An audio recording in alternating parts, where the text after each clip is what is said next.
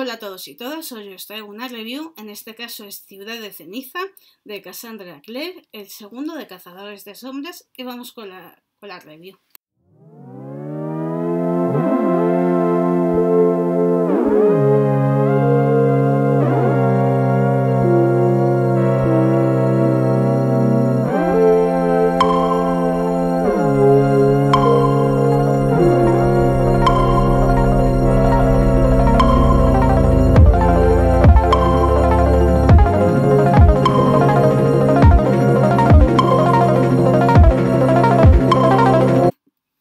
Bueno, el libro que yo tengo es de editorial Planeta de Libros, tapa dura, con sobrecubierta.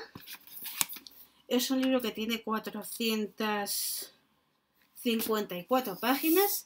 Y bueno, no voy a decir mucho, pero os voy a decir que la historia sigue donde terminó el primer libro, que no se puede leer de forma independiente por si alguien tenía algún tipo de duda. En este libro seguimos con la aventura aventura no, con los problemas que tenían los personajes en el libro, en su lucha contra Valentín. No os digo mucho porque eso aparece en el primer libro como al principio prácticamente. Y también veremos cómo muchos de nuestros protagonistas se transforman psicológicamente y físicamente y llegan al, al final del libro sin ser los mismos. Es un libro que me ha encantado me ha hecho querer seguir leyendo mucho más la saga, ya que el primero podía ser bastante introductorio, pero aquí ya hay bastante acción.